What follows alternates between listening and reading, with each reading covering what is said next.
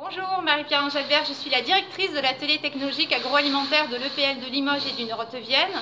Euh, c'est un atelier technologique orienté transformation des viandes pour 7 tonnes et 5 par an. Puis nous fabriquons également des biscuits, euh, nous fabriquons des compotes, des confitures à partir de fruits locaux et nous transformons également des légumes, le tout pour environ une tonne par an.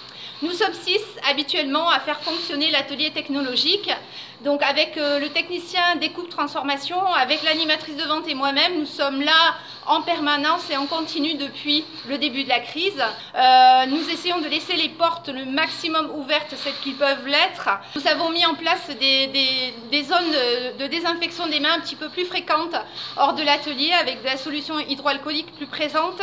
Euh, nous avons ensuite une zone de vestiaire et une zone de bureau pour Et puis pour tout ce qui est concertation, nous avons investi la, la grande salle pédagogique qui fait environ 100 mètres carrés, donc pour avoir euh, une distanciation maximum. Notre approvisionnement en viande est exclusivement euh, issu des deux exploitations de l'EPL, donc pas de souci, là les, exploitations peuvent nous fournir de la viande même au-delà de ce que nous pouvons découper.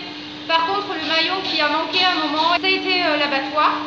Donc actuellement, c'est revenu dans l'ordre, même s'il y a moins d'abattage que, par le passé. La boutique euh, euh, permet de commercialiser les produits de l'atelier agroalimentaire, mais également des produits euh, d'agriculteurs locaux et des produits des lycées agricoles de Nouvelle-Aquitaine. Nous avons pendant cette période quasiment doublé le nombre de clients qui fréquentent la boutique et c'est vraiment de manière accélérée que cette crise nous a montré que combien il était important de satisfaire cette clientèle qui veut du produit de proximité, du produit frais, du produit issu de l'agriculture raisonnée.